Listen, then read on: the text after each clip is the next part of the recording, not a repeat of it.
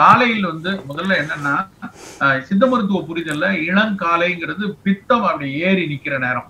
இரவெல்லாம் பித்தம் கூடும். காலையில சூரியன் ஒழுதிச்சதுக்கு அப்புறம் பித்தத்தை அப்படியே குறைக்கணும். அப்ப காலையில நம்ம சாப்பிடக்கூடிய உணவுங்கிற முதல் அருந்தக்கூடிய விஷயம் வந்து ரொம்ப பித்தத்தை கூட்டக்கூடியதா இருக்கக்கூடாது. காலையில டீ குடிக்கிறது வந்து தவறுங்கிறதுக்கு காரணம் அதுதான். ஏழு மார்னிங் வந்து நீங்க நல்லா டீ குடிச்சீங்கன்னா அது இன்னும் கொஞ்சம் பித்தத்தை கூட்டும். காலையில ஏற்கனவே கூடி இருக்கு அதோட சேர்ந்து டீயை குடிச்சோன்னா கூட காலையில கொஞ்சம் சமன்படுது நீங்க சொன்ன மாதிரி ஒரு எலுமிச்சம்பழச்சாரோ தேனோ இல்ல இஞ்சி சாரோ இது மாதிரி ஏதாவது ஒண்ணு பித்தத்தை குறைக்கிறத முதல் பானமா குடிச்சிட்டு சற்று நேரம் கழிச்சு ஒரு மணி நேரம் கழிச்சு நீங்க தேநீரா இருந்தனா பிரச்சனை இல்லை. ஒரு காலையில ஒரு உற்சாகம் வேணும். நாங்க பழகிட்டோம். இவ்வளவு நாளா நான் வந்து கும்பகோணம் டிகிரி காஃபி குடிக்கலைன்னா என்னால இருக்க முடியாது. அப்படின்னு இருக்கவங்க முதல்ல இதை குடிச்சிட்டு ஒரு அரை மணி நேரம் கழிச்சு நீங்க வந்து ஒரு காஃபி எடுத்து போடலாம். இல்ல தேநீர் எடுத்து போடலாம். அதையும் கூட நாங்க என்ன சொல்றோம்? காலையில நீங்க வந்து ஒரு இஞ்சி சாறு எடுங்க இல்ல எலுமிச்சம்பழ சாறு எடுங்க இல்லைன்னா நெல்லிக்காய் டீ குடிங்க. நீராகாரம் மிகச்சிறப்பான ஒண்ணு. பழஞ்சோறுன்னு பழைய சாதம் வீட்டுல அந்த காலத்துல சோறு வெடிச்சுட்டு சோறு மீதியாச்சுன்னா ஒண்ணு வீட்டுல வந்து பின்னாடி கழனியில மாடு இருந்ததுன்னா அந்த மாட்டுக்கு கொடுப்போம்.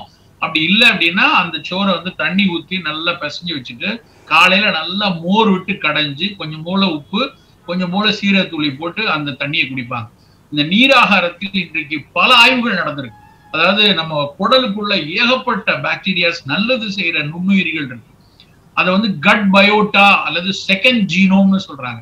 அந்த கட் பயோட்டா செகண்ட் ஜீனோம் தான் நம்முடைய சிந்தனை ஆற்றல் வரைக்கும் முக்கியமானதுன்னு இன்னைக்கு கண்டுபிடிச்சிட்டான் அந்த பாக்டீரியா நல்லா இருந்தா தான் இப்ப நான் ஒழுங்கான வார்த்தையில பேச முடியும். என்னோட சிந்தனை கரெக்டா இருக்கும்.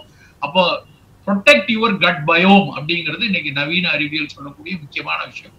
அந்த அந்த குடல்ல இருக்கக்கூடிய நுண்ணுயிரிகளை பாதுகாக்கக்கூடிய விஷயத்துக்கு நீராகாரம் மாதிரியான ஒரு விஷயம் வேற எதுவும் வராது.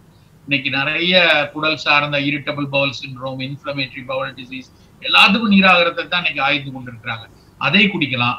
அல்லது நீங்க சொன்ன மாதிரி எலுமிச்சம்பழமோ இஞ்சி ஒவ்வொரு நாள் நான் அடிக்கடி என்னுடைய நோயர்களுக்கெல்லாம் பரிந்துரைப்பது என்னன்னா தினம் டீ குடிக்காதீங்க. ஒரு நாள் வந்து நீராகாரம் சாப்பிடுங்க. ஒரு நாள் நெல்லிக்காய் டீ குடிங்க. ஒரு நாள் வந்து கரிசலாங்கண்ணி டீ குடிங்க. ஒரு நாள் வந்து இப்படி பிரிச்சு பிரிச்சு நம்ம குடிக்கும் போது அது ஏதாவது ஒரு வகையில உடலுக்கு நல்லது செய்வதிலிருந்து காலை ஒன்று சொல்றாங்களா தினம் ஒரு நல்ல வேலையில செய்து நல்லதை செய்து துவங்கு அப்படிம்பாங்க இல்லையா?